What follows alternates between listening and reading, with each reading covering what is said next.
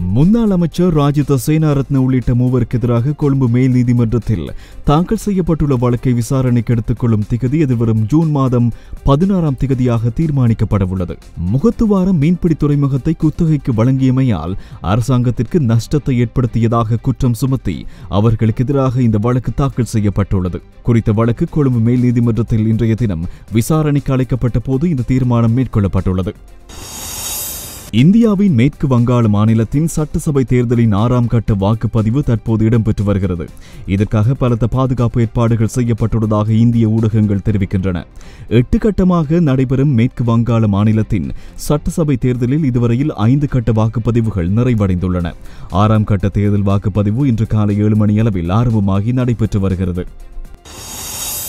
இலங்கை மற்றும் பங்களாதேஷ் அணிகளுக்கு இடையிலான முதலாவது டெஸ்ட் கிரிக்கெட் போட்டியின் இரண்டாம் நாள் ஆட்டம் தற்போது இடம்பெற்று வருகின்றது.